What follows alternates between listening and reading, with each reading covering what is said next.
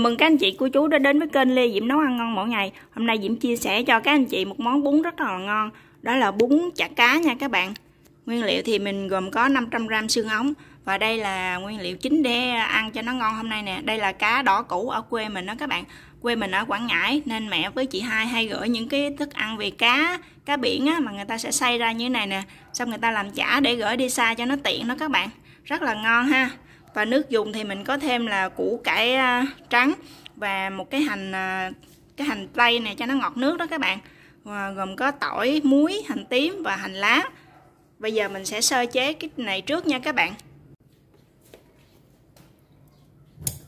Bây giờ các bạn à, hãy sơ chế trước cái phần xương ống này nha. Các bạn sẽ cho nước sôi vào đây.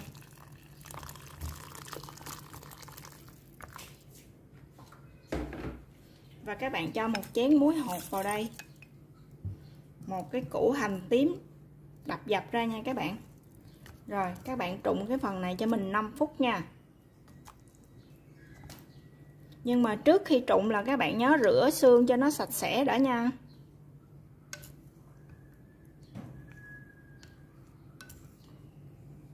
Xương sau khi trụng và rửa lại sạch sẽ thì các bạn cho thẳng vào nồi và mình ướp luôn nha các bạn sẽ cho vào đây hành tím lúc nãy mà mình băm ra. Bạn cho thẳng vào luôn nha. Tỏi.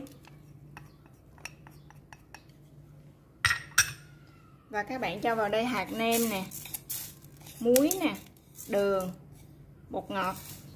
Tùy theo cái gia vị nhà các bạn hay ăn như thế nào nha. Và cuối cùng mình sẽ cho vào đây hai muỗng dầu ăn.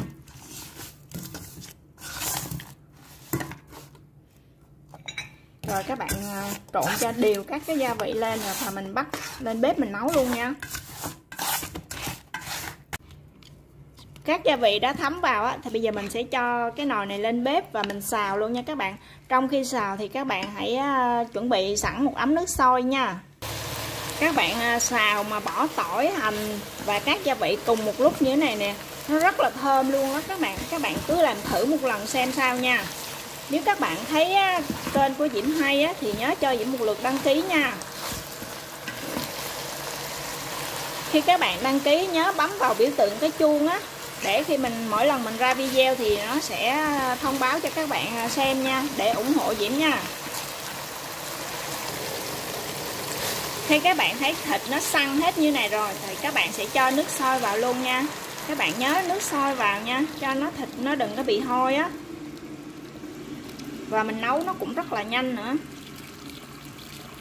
Nhà các bạn ăn bao nhiêu thì mình sẽ canh cái lượng nước sao cho nó vừa đủ nha.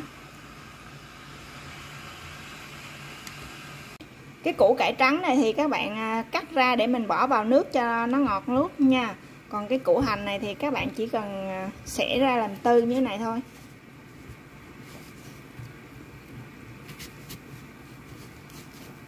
Đấy và các bạn sẽ cho vào nồi lẩu luôn nha. Các bạn sẽ cho vào nồi à, nước dùng của mình luôn nha.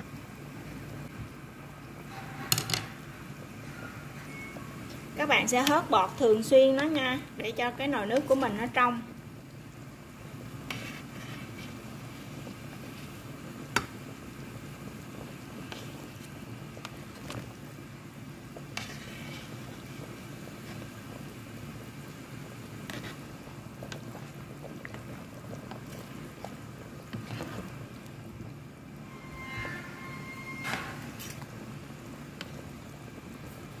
Rồi các bạn à, vặn lửa nhỏ vừa để mình hầm cái nồi cái nồi nước này nha.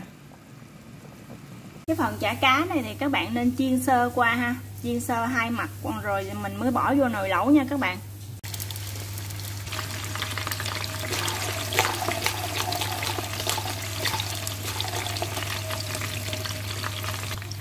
Cái phần chả cá này các bạn chiên khoảng 3 phút là được rồi nha.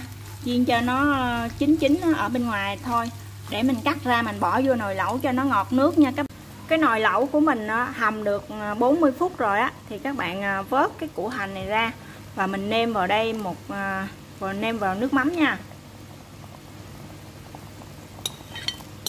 Các bạn cho cái củ hành này ra. Các bạn nêm vào đây một giá nước mắm và các bạn sẽ nếm lại và mình điều chỉnh sao cho nó hợp với khẩu vị gia đình mình nha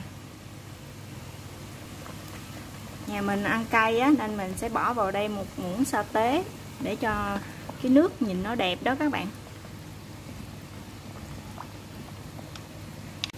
Cái phần chả cá này thì các bạn sắc ra và mình bỏ vào nồi lẩu luôn nha.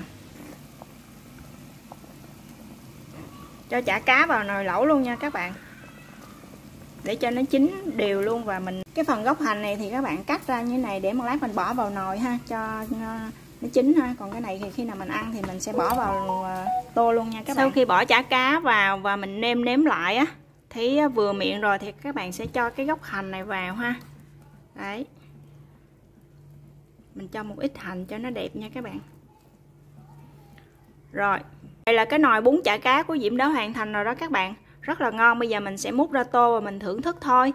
Cảm ơn các bạn đã xem hết video của Diễm nha nếu các bạn chưa đăng ký kênh, nhớ bấm nút đăng ký và bấm vào biểu tượng cái chuông để theo dõi những video tiếp theo của Diễm nha.